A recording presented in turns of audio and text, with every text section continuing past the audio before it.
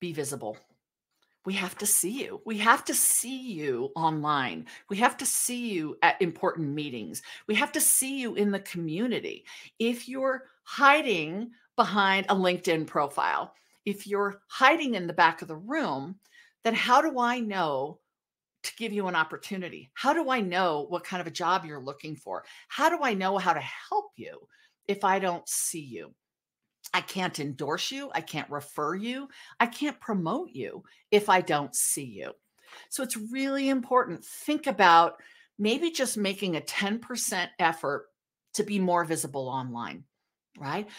Contribute a comment to three LinkedIn posts in the next two weeks. Three LinkedIn posts, you're going to add a comment. That has just now increased your visibility. Maybe you're going to attend a holiday event that you otherwise wouldn't go to because you don't know anyone there. Okay. That increases your visibility.